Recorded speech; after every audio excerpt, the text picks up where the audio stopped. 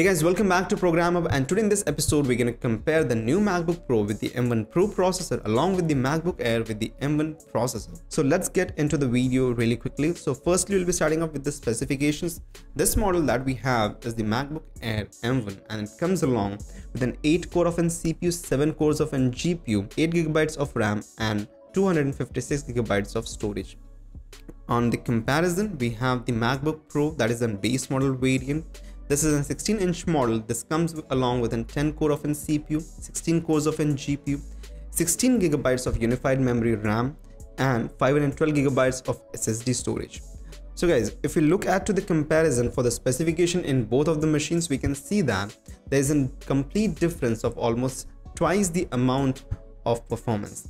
This has got an 8 cores of an CPU. This has got an 10 cores of an CPU. If you have a look at the bifurcations for the CPU, it has got 4 cores for performance and 4 cores for efficiency.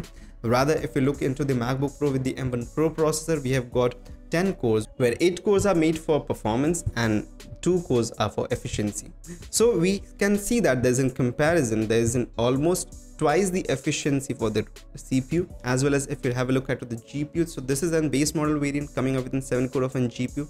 This has got 16 cores of an GPU so twice the performance. If you're getting for the MacBook Pro with the 14 inch model there you can actually get an laptop where there's 14 cores for GPU acceleration and if you upgrade this up to the M1 Max processor you can get 32 cores for GPU. So now let's get ahead and try to check the performance of both of the machines onto some synthetic benchmarks. So firstly we have got Cinebench scores.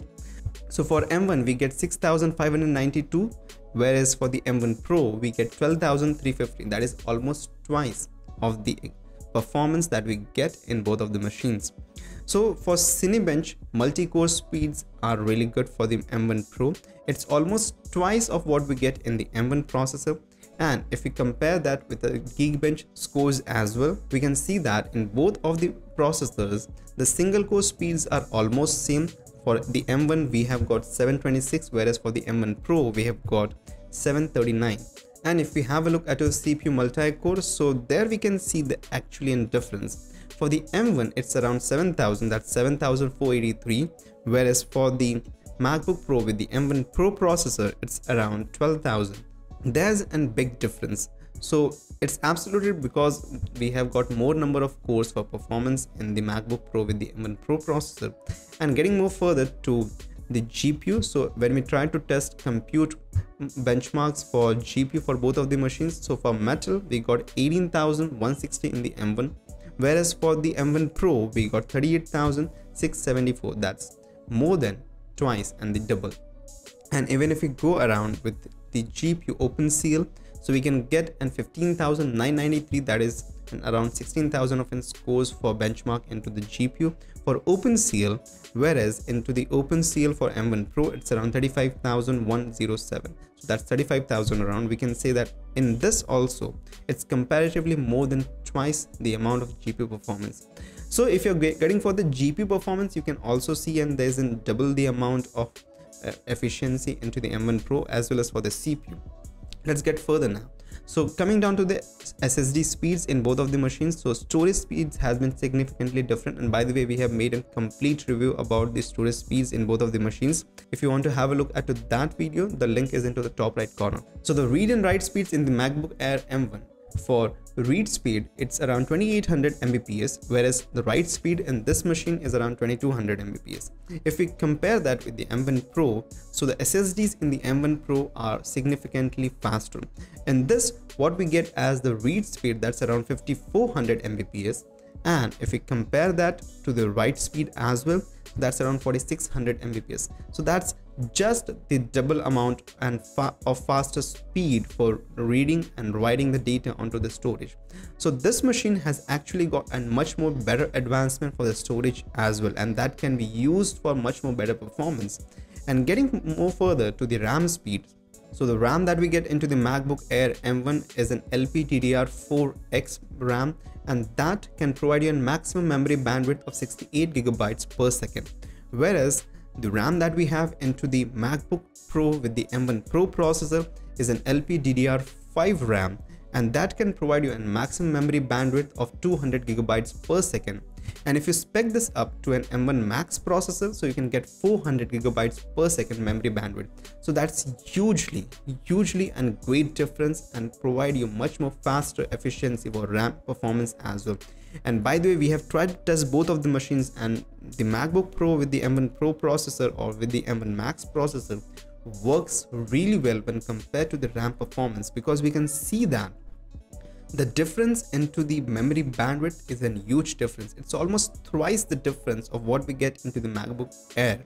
And when comparing to the charging, so let's compare the both machines for charging. So for charging, we get an 35 watts charging adapter into the MacBook Air M1, whereas onto the 16 inch models, we get an 140 watts charging adapter and and by the way there is an incredible thing that can actually be provided into the new models of the macbook pro in 2021 is a fast charging. So these new chargers are capable of providing you of fast charging the machine to 50% in just 30 minutes of time.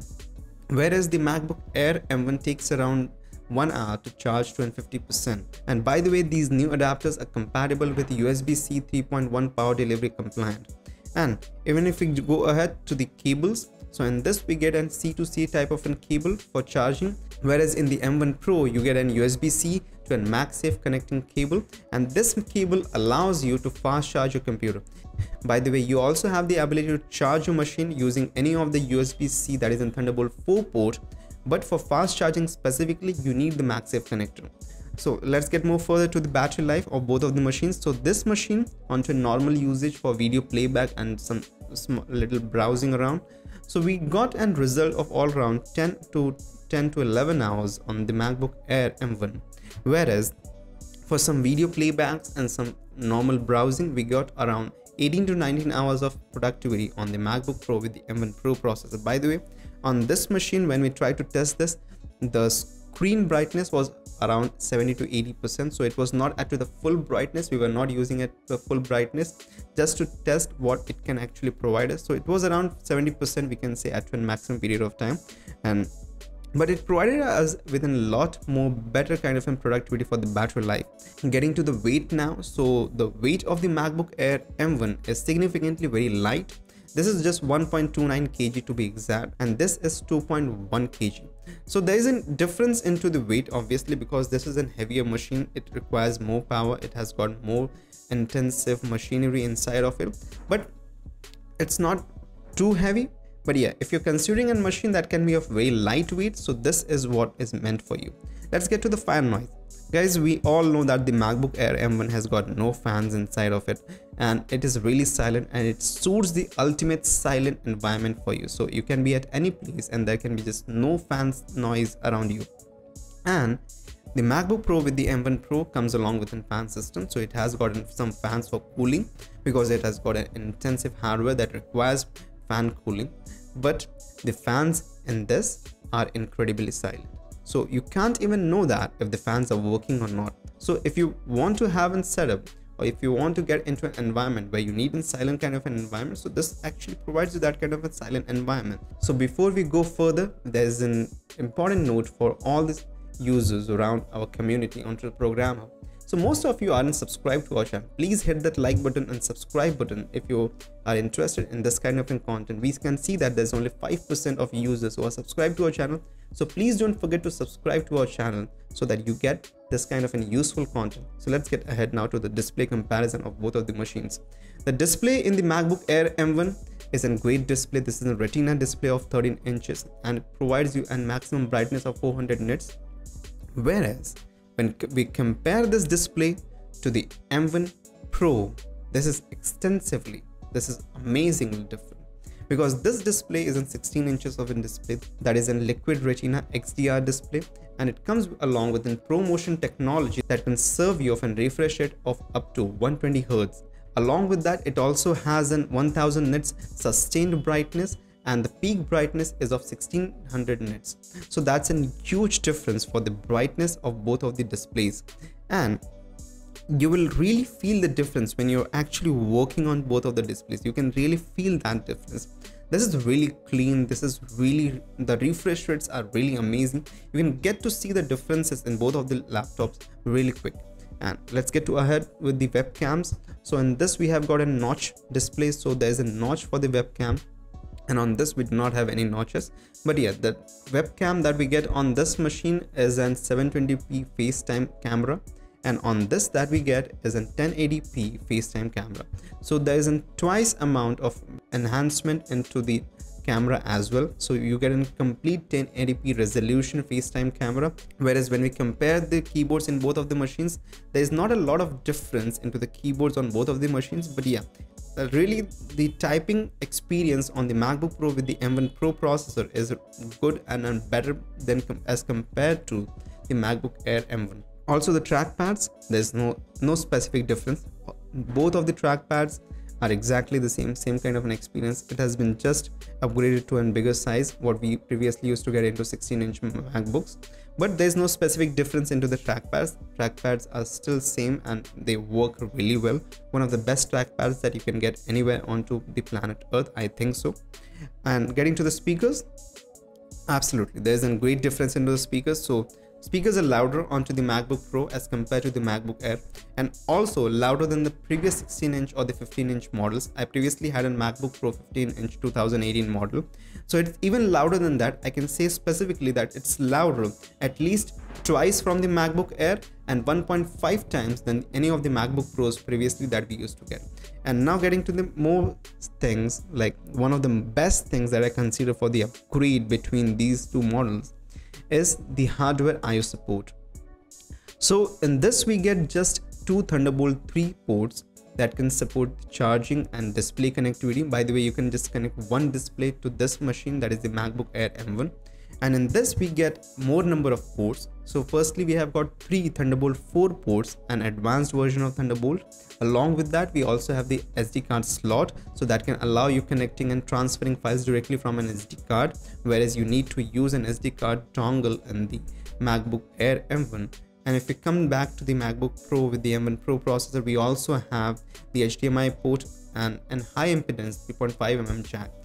And if we get to external monitor connectivity. So the MacBook Pro with the M1 Pro processor can support up to two external monitors connectivity. And if you upgrade this to M1 Max, so you can get around four display connectivity. So this was pretty much comparison of everything that we have in the MacBook Air M1 along with the MacBook Pro with the M1 Pro processor. And guys, if we compare the performance, absolutely there's gonna be a big performance. And by the way, we have tried to test both of the machines for extensive tests all different softwares and we have made a complete playlist for that. If you want to have a look at that so the link is in the top right corner. Click up there and have a look at that playlist so you can get the complete comparison of for the performance for each different perspective. And if in general purpose if i just try to review this like which is a better machine? Obviously. This is faster almost twice faster in every little task. Like for example, if you're trying to video render, it's twice faster than the MacBook Air M1. If you're trying to do programming, it's more better than the MacBook Air M1. But whether it should be considered as an upgrade or not, now this completely lies upon you, whether you need it or not. Because the price difference is also twice. The MacBook Air M1 costs you around $1,000 whereas the 14 inch model of the new MacBook Pro costs you $2,000 and the 16 inch starts with an $2,500. So there's a complete difference into the price perspective as well. But this was the complete comparison between both of the machines. And if you've got any more questions that you want me to answer, so please leave that into the comment section down below. We'll be happy to reply you. And if you liked our video, please hit that like button and subscribe to our channel. Meet you in the next episode. Till then, goodbye.